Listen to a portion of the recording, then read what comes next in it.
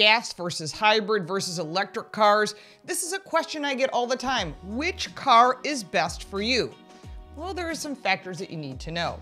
Gas prices and inflation have fluctuated widely since 2020, and new sustainability laws that are dictating higher mile per gallon rules are going into effect around the country.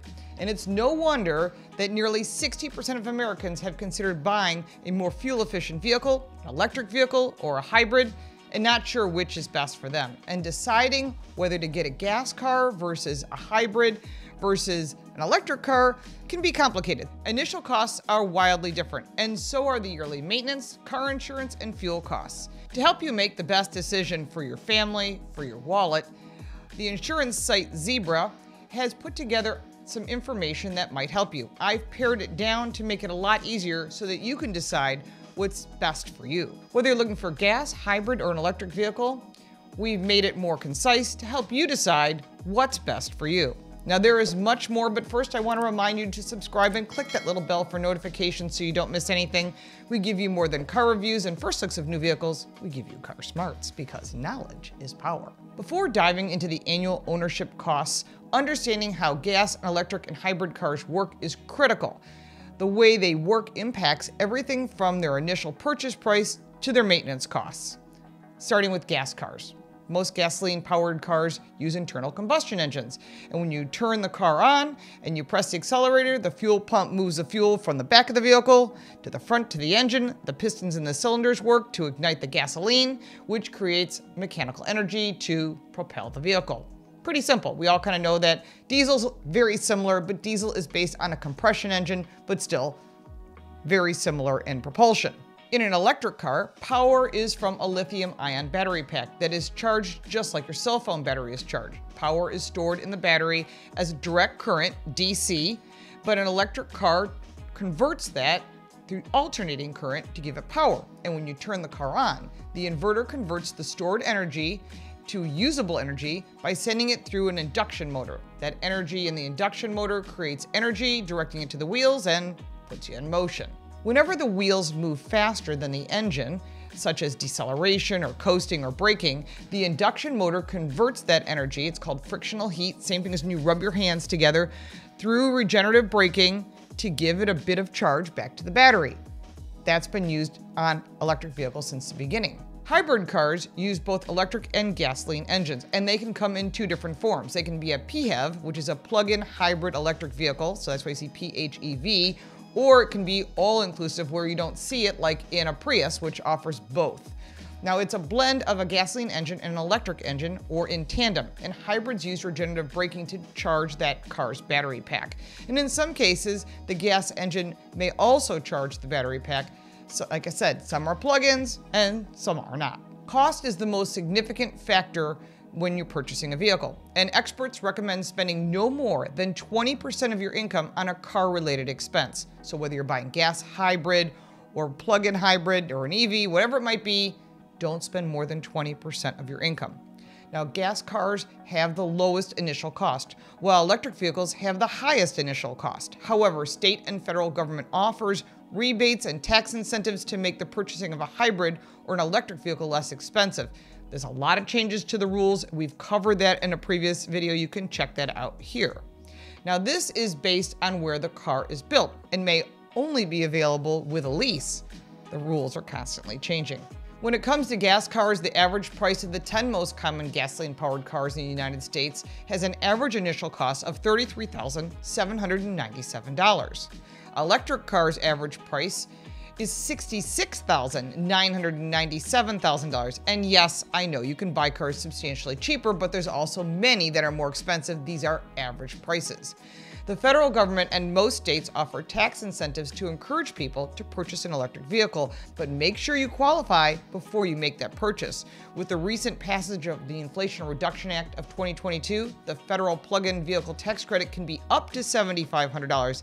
It's a tax credit, it is not a check and there may be no incentive. The credit is a tax credit that you would apply to all of your outstanding taxes. Again, lots of variables. You really need to read the small print on these. In addition to the purchase of an electric vehicle, you may also need to purchase charging equipment, which is not standard across all vehicles. It's starting to become that way with Tesla starting to partner in with General Motors and Ford and other brands. This could be the new wave, but there are still charging stations with different type of adapters. Depending on the charging option you choose, you'll also need to install a charging station in your garage, which costs on average about $1,200 to purchase and install by a certified electrician. Again, check with your insurance company for your home because some cover it and some don't. A lot of new rules in place. Hybrid cars have an average initial purchase price of $39,040. And if you purchase a plug-in hybrid model, you'll also need to buy a charging equipment and possibly install a charger in your home. Non-plug-in charge cars are a good option as they don't require this charger, and hybrids may qualify for a tax incentive to lower that initial cost. The plug-in tax credit may bring the cost down to a lower price, but you have to do your research. All vehicles require maintenance, and the costs refer to standard car maintenance to address regular wear and tear of the vehicle and keep it running smoothly. The major maintenance costs to gasoline vehicles are fluid changes and replacement parts, like batteries, brake pads, and spark plugs and tires. The most frequent maintenance for gasoline-powered vehicle is an oil change, which can range between $35 and $75, and the amount anywhere from $70 to $225 a year. Now, brake pads last about 40,000 miles, which can cost anywhere from $150 to $300 per axle, depending on your car. Now, per the Car Care Council, you should follow your owner's manual. Every vehicle is completely different, especially when it comes to oil types, fluids, tires, and everything. Follow the owner's manual. Now, maintenance for electric cars, has some cost as well. Now the battery pack is the biggest expense, which generally lasts about 8 to 10 years, and most manufacturers provide a warranty on the battery pack for the first 8 years or 100,000 miles.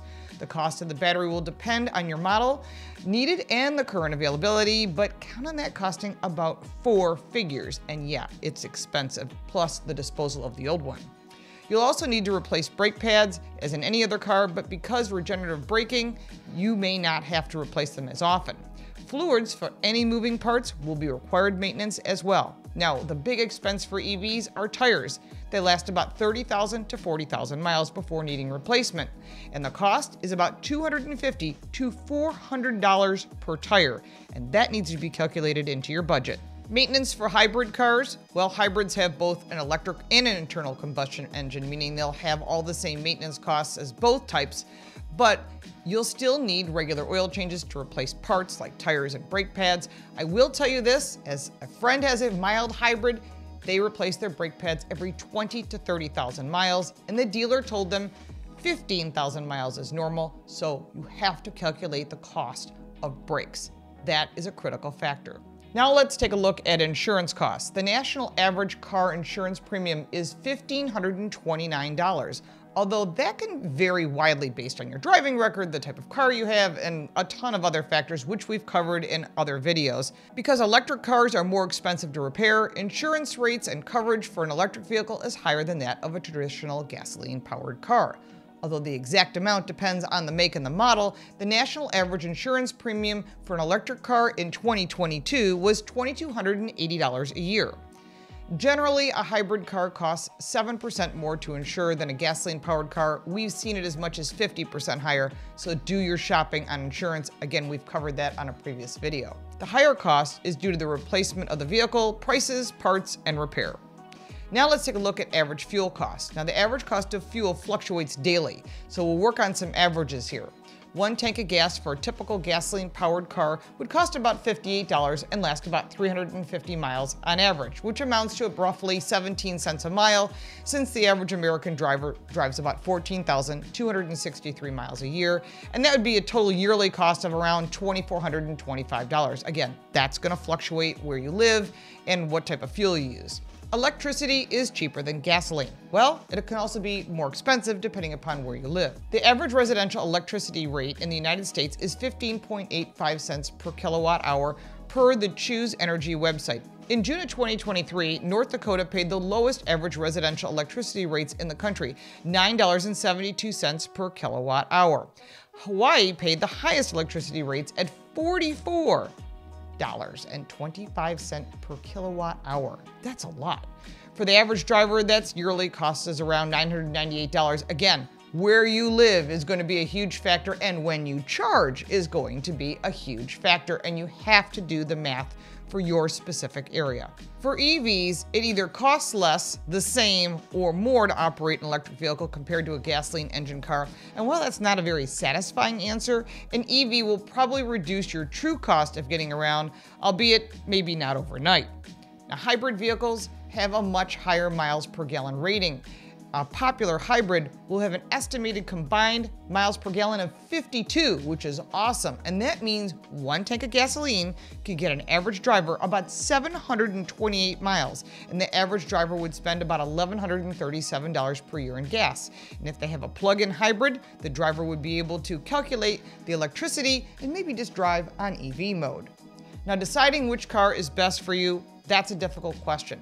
When determining whether you should purchase a gas, a hybrid, or an electric car, consider the following factors. One, consider where and how far you're driving. And if you're frequently traveling long distances, an electric car may not be the best option since charging can be a real hassle. People have charging anxiety. And not only are charging stations hard to find in some areas, but also takes longer than to fill up a gasoline powered vehicle and can add travel time to your trip.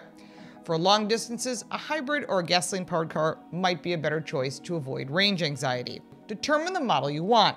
There are more gas, hybrid, and plug-in hybrids and electric cars in production, and inventories are starting to increase, and we'll be covering that in future videos. Watch car reviews, read articles, compare insurance rates, and get financing in place before deciding. And take one for a test drive. You don't want to buy a car and then find out later you hate it, because you're going to be keeping it for a while. Plan when you need your new car. There are still many gasoline powered vehicles available that earn amazing fuel economy and great technology. Shop around and always test drive a vehicle before making your final decision. And no matter which vehicle option you choose, whether it's gas, hybrid, or electric, it's an investment that needs to be protected with insurance. And maintenance costs, charging, gasoline, electricity are all part of the cost of owning a vehicle. If you like this video, give it a like and subscribe for more videos like this one. If you have any questions or comments, I'm sure you will. I'll be happy to answer. You can support me by buying me a cup of coffee. The link for that is in the description, plus all the links for our website, social media, the book, and the podcast. I'm Lauren Fix. Thank you so much for watching.